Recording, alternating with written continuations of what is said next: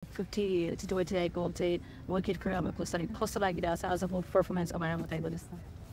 Performance चाहिँ आजको राम्रै भयो अब सोचेको थिएँ मैले कि यसबाट मैले एउटा प्लान थियो नि मेरो कि मैले चाहिँ स्लो इयरको ट्राई गर्नुपर्छ भनेर त्यो एकदमै क्लियर थियो त्यसमा चाहिँ मलाई फाइदा नै भयो भने विकेट नै आयो लास्टमा खुसी छु अभी अ, बिचमा हुनु न ओडिआईमा थियो ओडिआई सेटअपमा हुनु थिएन त्यही कारण अब टी ट्वेन्टीमा चाहिँ तपाईँलाई स्पेसलिस्ट भनेर राखिएको थियो।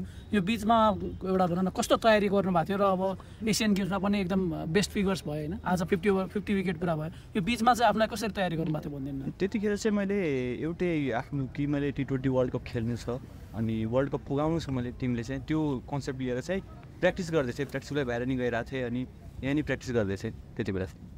नागपुरको क्याम्पमा चाहिँ सबैजनाले चाहिँ एकदम राम्रो भयो भएन अब ब्याटिङको नयाँ कन्सल्टेन्ट कोच पनि आउनु भएको छैन। कस्तो छ अहिले भनौँ न एज अ बलिङ युनिट पनि पर्फर्म भइरहेको हिसाबले चाहिँ टिममा चाहिँ कस्तो छ? टिममा अहिले एकदमै राम्रो छ। अहिले जस्तो हाम्रो दाइले भन्नुभयो कि सरले चाहिँ अब एउटा प्लान दिनुहुन्छ कि बलर्स चाहिँ आफ्नो प्लानमा यो गर्नु पऱ्यो फिल्ड सेटअप चाहिँ पहिले हामीसँग हुन्छ कि यो यस्तो यस्तो फिल्ड राख्नु पऱ्यो यो ब्याट्सम्यानको लागि भनेर। त्यो नागपुरदेखि प्लान चाहिँ त्यतिकै भएर राम्रो भइरहेछ प्लान चाहिँ हरेक प्लेयरको लागि चाहिँ।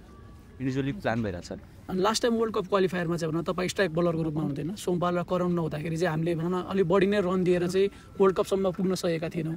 योपालि अब होम ग्राउन्डमा खेल्दैछौँ एउटा एडभान्टेज अनबिटन छ मोन्टेसरको होइन सोमपाल र करणको एउटा पेस एट्याकले तपाईँलाई नै सहयोग गरेको छ कसरी हेर्नु भएको छ यो बिल्डअप चाहिँ एउटा क्वालिफायर अगाडिको? अब मैले चाहिँ अब जस्तो सोमपाल दाई र करण दाईले स्टार्टिङको छ ओभरमा एकदमै कम रन दिइराख्नु भएको छ होइन?